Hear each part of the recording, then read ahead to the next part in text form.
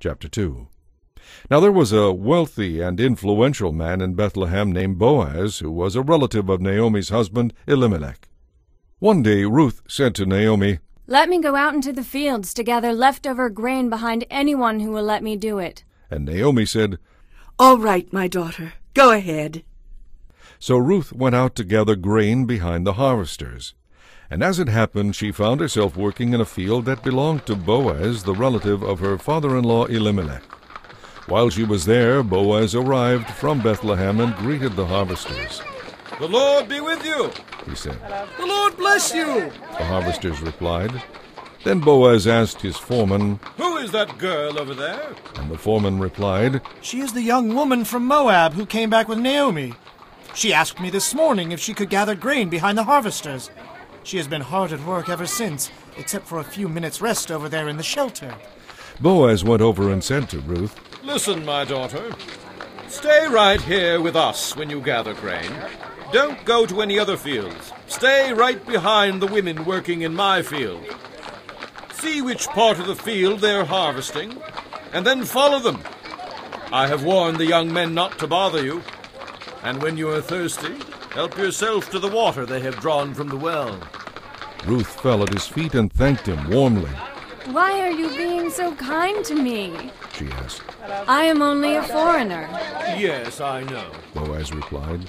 But I also know about the love and kindness you have shown your mother-in-law since the death of your husband. I have heard how you left your father and mother and your own land to live here among complete strangers. May the Lord, the God of Israel, under whose wings you have come to take refuge, reward you fully. I hope I continue to please you, sir. She replied. You have comforted me by speaking so kindly to me, even though I am not as worthy as your workers.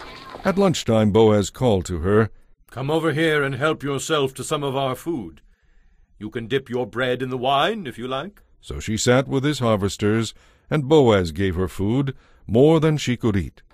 When Ruth went back to work again, Boaz ordered his young men, Let her gather grain right among the sheaves without stopping her, and pull out some heads of barley from the bundles and drop them on purpose for her. Let her pick them up, and don't give her a hard time. So Ruth gathered barley there all day, and when she beat out the grain that evening, it came to about half a bushel.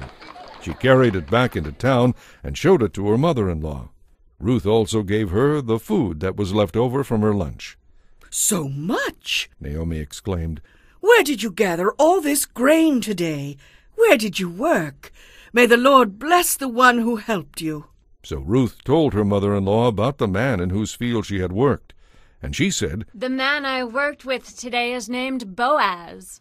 May the Lord bless him. Naomi told her daughter-in-law. He is showing his kindness to us as well as to your dead husband. That man is one of our closest relatives, one of our family redeemers. Then Ruth said, What's more, Boaz even told me to come back and stay with his harvesters until the entire harvest is completed. This is wonderful! Naomi exclaimed. Do as he said. Stay with his workers right through the whole harvest. You will be safe there, unlike in other fields. So Ruth worked alongside the women in Boaz's fields and gathered grain with them until the end of the barley harvest. Then she worked with them through the wheat harvest too, but all the while she lived with her mother-in-law.